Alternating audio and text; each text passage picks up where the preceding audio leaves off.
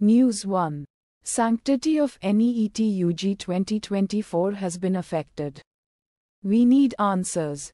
Supreme Court seeks NTA's response on plea to cancel exam over paper leak live law Indian legal. News, News 2. Feared Amit Malviya could be honey trapped. RSS worker Shantanu Sinha takes a U turn The Times of India. News 3. S Jaishankar takes oath as Union Cabinet Minister for a second term with a new team. The Hindu, News 4. Leftovers.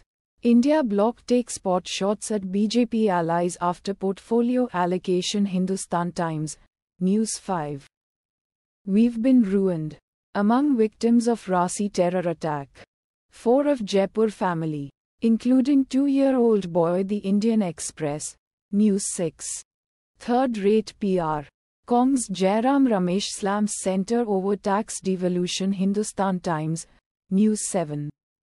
What are Prime Minister Narendra Modi's portfolios? Key takeaways from Cabinet Berths Allocation Hindustan Times, News 8. Competition not war. RSS Chief Mohan Bhagwat on election. Running Parliament, NDTV, News 9. PMO should be People's Office. Not Modi's. PM tells officials The Hindu.